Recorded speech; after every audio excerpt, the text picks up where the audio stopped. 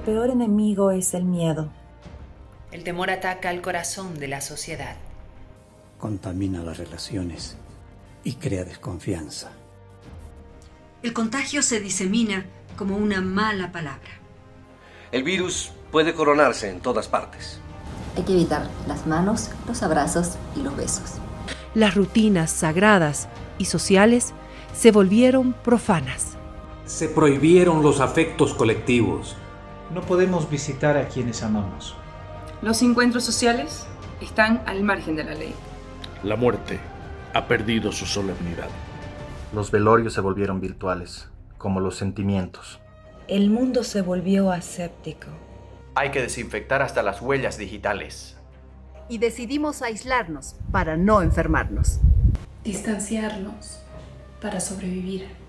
Los valientes de blanco luchan por todos los otros. Hay héroes cotidianos, todos indispensables. Ángeles de un mundo que ha extraviado su alma.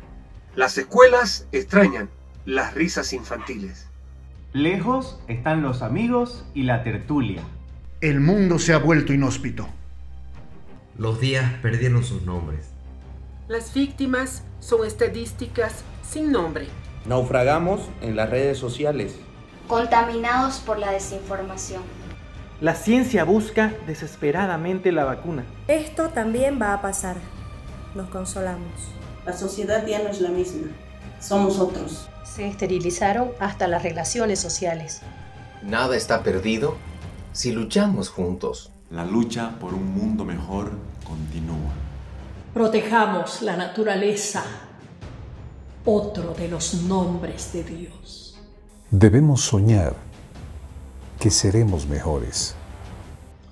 Porque soñar es una forma de planificar. En el sueño recordemos a Dios. El aislamiento redescubrió nuestros propios hogares.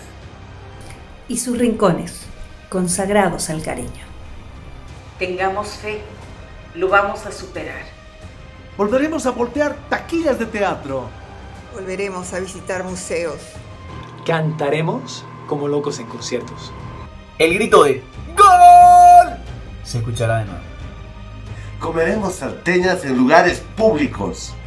Volveremos a abrazarnos como si fuera el fin del mundo. Porque los abrazos abren la puerta de los afectos. Y en vez de vestirnos con marcas, nos vestiremos de esperanza. Es tiempo de aceptar nuestra identidad mundial. Nuestro destino común como habitantes de un planeta. Siempre hemos estado en peligro y hemos sobrevivido juntos. Para salvarnos de la extinción es necesario reencontrarnos. El futuro no será incierto si lo enfrentamos juntos. Somos uno y somos otro. El tiempo del amor.